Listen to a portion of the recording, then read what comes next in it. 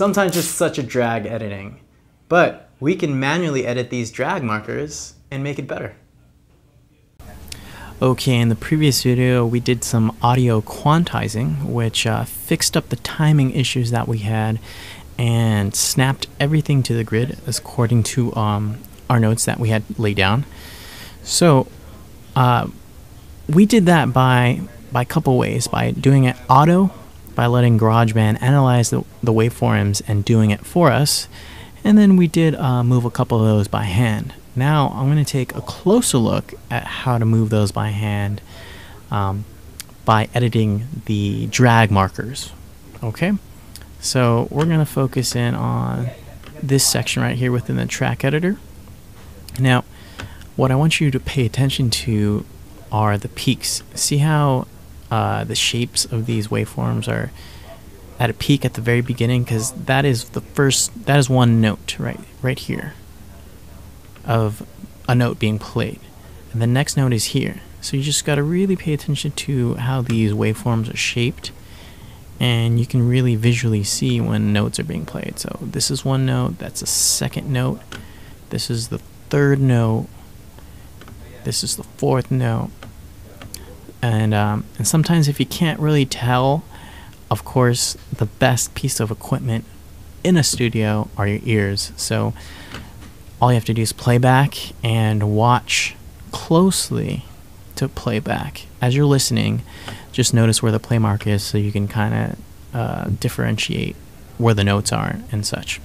And at the same time notice where the notes are off timing. So I mean we can obviously see how this first note um, is before the fifth marker, the fifth measure, and that should be snapped. So let's go ahead and listen at what we have before uh, we edit some of these drag markers. Now I'm going to rewind this back just a little bit more. Okay.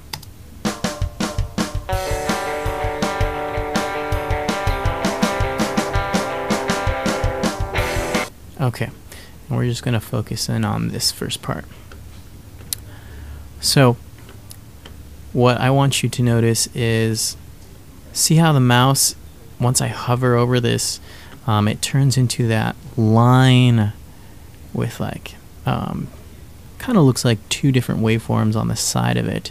Uh, that places your drag markers. So you usually want to click on where you think the beginning of a note. And sometimes if you've already clicked at a spot, because I clicked on this earlier, um, it shows you the uh, drag marker. So if I wanted to place one on the very beginning of this note, all I have to do is hover over it, click, and once I click, it should automatically snap to either the 5 right here where it should be or to this one, uh, depending on which one is closer on where I click. So let's go ahead and click and see what happens.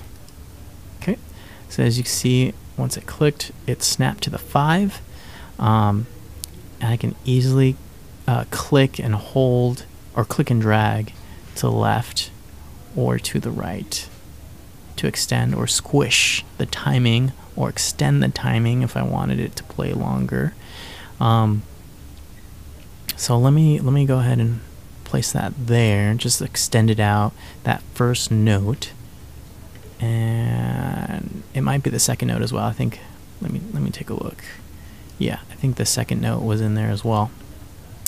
Um, if you don't want the second note to go with it, you just click again.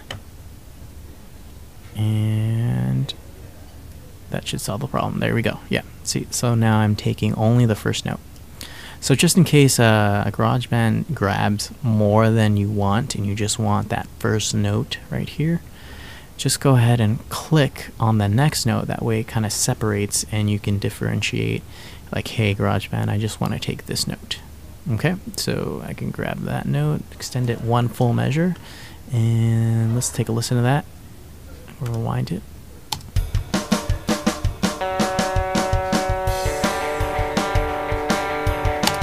Okay, so as you can see, it's kind of like exaggeration, and what's really cool is you can stretch it out, and it still sounds almost natural, like like if that's how I played it. Anyway, I'm gonna Apple Z and undo that, and let's say we added one somewhere like the second note and we didn't want that there. Well, we know how to add them by clicking, by hovering over and clicking them. And I want to get rid of that guy. Well, you just simply hover over the X button, or, or yeah, the X icon, and just click on it, and that gets rid of that guy.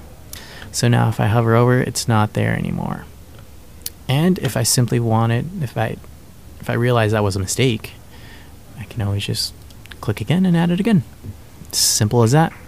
So that's a little bit of a closer look and uh, enjoy editing. So please remember to rate, comment, and subscribe. And if you have any requests, please send them to request at mahalo.com.